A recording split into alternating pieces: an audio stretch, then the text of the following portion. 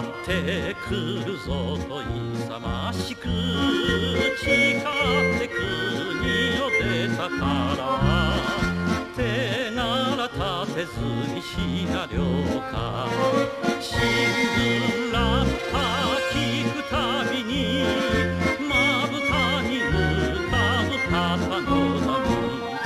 土も草木も人燃える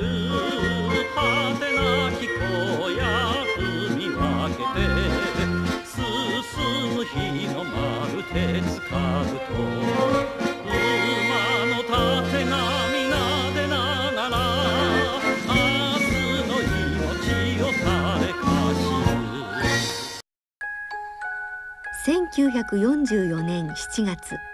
日本の勢力圏にあったマリアナ諸島のサイパン島がアメリカ軍によって占領されました。アメリカはここを基地として日本の本土を空襲できるようになったのです。多くの都市が連日激しい空襲にさらされました。1944年11月から終戦に至るまでの10ヶ月間で日本本土を襲った B29 爆撃機は延べ1万7000機。東京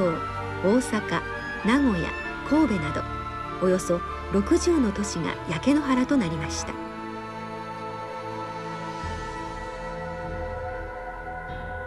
中でも1945年3月9日夜から翌10日の明け方にかけての東京への爆撃は大変大きな被害をもたらしました。300機以上の B29 から雨のように降り注いだ焼夷弾によって深川や浅草などの下町地域が焼き尽くされました。死者はおよそ10万人。